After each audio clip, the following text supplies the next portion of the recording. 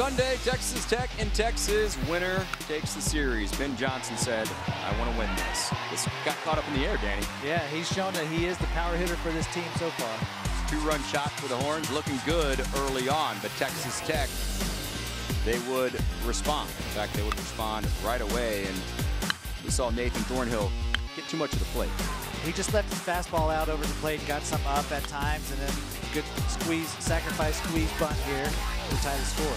Devin Conley got it down, but Nathan would certainly settle down as what did you like about him today? Well, the difference, and you saw on that pitch, he started locating his fastball better, and then he added his changeup, his Bugs Bunny changeup, and his breaking ball. Yeah, we didn't see the Bugs Bunny early. He would find it and would end up tying a career high. You're seeing the strikeouts. He had seven of them. But we go to the sixth inning, and that's when the Texas Tech offense got something going. Jared Poteet, you said, don't give them something to hit, and they did. And that's what they're going to learn as the season goes on and they get older, how to pitch around guys with bases open, get yeah. the next guy. First base was open with two outs, and Texas would try to answer, but some great defense from Johnny Probst.